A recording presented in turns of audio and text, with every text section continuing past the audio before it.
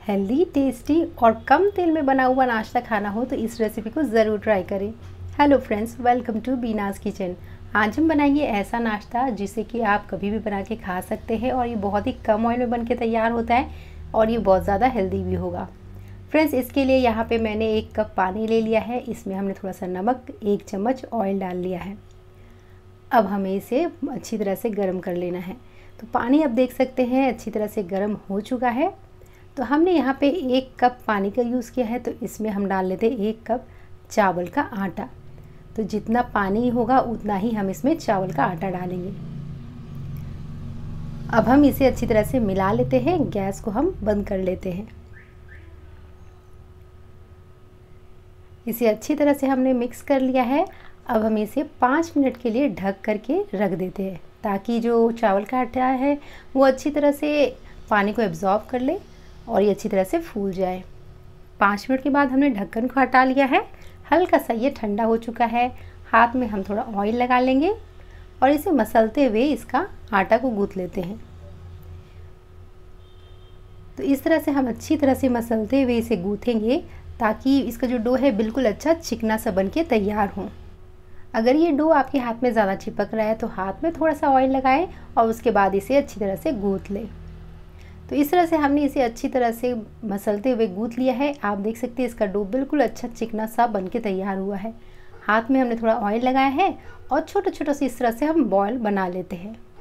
बिल्कुल थोड़ा थोड़ा हम इसमें से डो लेंगे और इस तरह से बिल्कुल छोटा सा बॉल बना लेते हैं। ये देखिए, इस तरह से, इसी तरह से हम बाकी को भी नाश्ते को बना के तैयार कर लेते हैं। अब हमने यहाँ पे लिया है एक जाली वाला बर्तन और उसमें हम थोड़ा सा ऑयल ग्रीस कर लेते हैं। ताकि जो नाश्ता है इसमें चिपके नहीं। और सारे नाश्ता हमने जो बनाया है, इसमें डाल लेते हैं। इसे स्टीम करने के लिए हमने कढ़ाई में पानी को गर्म करने के लिए रख दिया है। जब पानी अच्छी तरह से बॉईल होने लगे, तब हम इसे कढ़ाई में इस तरह से रख लेते हैं। अब हम इसे ढक देंगे और इसे 10 मिनट के लिए हम पकने के लिए छोड़ देते हैं। तो 10 मिनट के बाद हम इसे चेक करेंगे। फ्रेंड्स 10 मिनट के बाद आप देख सकते हैं, ये है जो हमारा बॉल्स बन के तैयार हुआ है।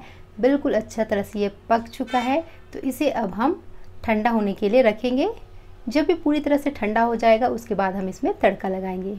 ये देखिए फ्रेंड्स, बॉल जो है बहुत ही ज़्यादा स्पॉन्जी सी बनी है और वो बिल्कुल अच्छी सी ये ठंडी हो चुकी है। तड़का लगाने के लिए हमने यहाँ थोड़ा सा ऑयल गर्म किया है। इसमें हम डाल देते हैं आधा छोटा चम्मच राई।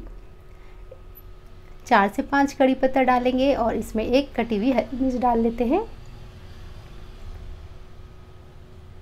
अब हमने जो बॉल्स बनाया था, इसमें हम डाल लेते हैं। और आप इसमें थोड़ा सा नमक भी डाल सकते हैं। अभी हम इसे अच्छी तरह से मिक्स कर लेते हैं। फ्रेंड्स, आप इस नाश्ते को किसी भी चटनी के साथ सर्व कर सकते हैं। किसी भी टेस्टी चटपटी सी चटनी के साथ ये बहुत ही अच्छी लगेगी। या तो ग्रेवी वाली सब्ज़ी के साथ भी आप इसे सर्व कर सकते हैं। तो ये बिल्कुल अच्छी तरह से तैयार हो चुकी है। इसमें हम डालेंगे धनिया का पत्ता। तो ये बिल्कुल झटपट से बनने वाली रेसिपी हमारी तैयार हो चुकी है। इसे हमने अच्छी तरह से मिक्स कर लिया है और ये हमारा बहुत ही टेस्टी सा नाश्ता बन के तैयार हो चुका है। तो इसे अब हम सर्व कर लेते हैं। तो फ्रेंड्स, ये बहुत ही कम ऑयल में बन के तैयार होने वाला ये नाश्ता हमारा बन के तैयार हो चुका है।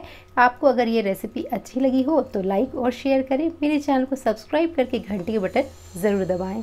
मिलते हैं नेक्स्ट वीडियो पे किसी नई रेसिपी के साथ. Chill then bye bye